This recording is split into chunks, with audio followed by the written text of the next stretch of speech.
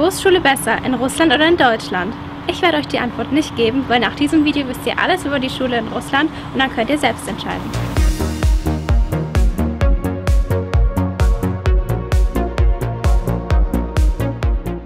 Hallo zu Russisch vs. Deutsch. Heute geht es um Schulen. Das Schulsystem ist wirklich sehr anders in Russland als in Deutschland. Da ist es nämlich so, dass die meisten Kinder auf eine gemeinsame Schule gehen. Aber nicht gleich lange. Wer mehr praktisch begabt ist, der bleibt dann nur neun Jahre und lernt danach einen Beruf. Bessere Schüler bleiben elf Jahre. Die können dann auch studieren. Es gibt in großen Städten auch Gymnasien, aber da gehen wenige hin und sie sind dort auch so etwas wie Eliteschulen. Studieren kann man aber nach den normalen genauso. Die haben übrigens oft keine Namen, sondern nur eine Nummer. Auch nach elf Jahren Schule sind die russischen Schüler immer noch jünger als wir, wenn wir unser Abitur machen.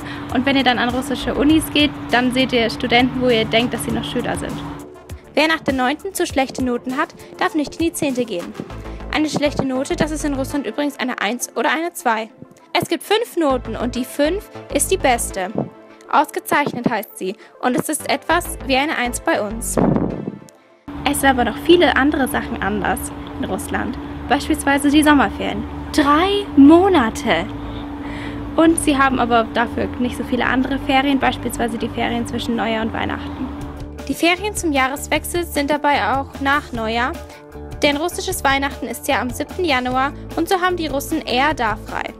Das merkt ihr auch, wenn ihr irgendwo hingeht, wo viele Russen Urlaub machen. Die meisten könnt ihr dort kurz vor Silvester treffen. Schultüten gibt es für die russischen Kinder am ersten Schultag nicht, nur sehr viele Blumen für Schüler und Lehrer.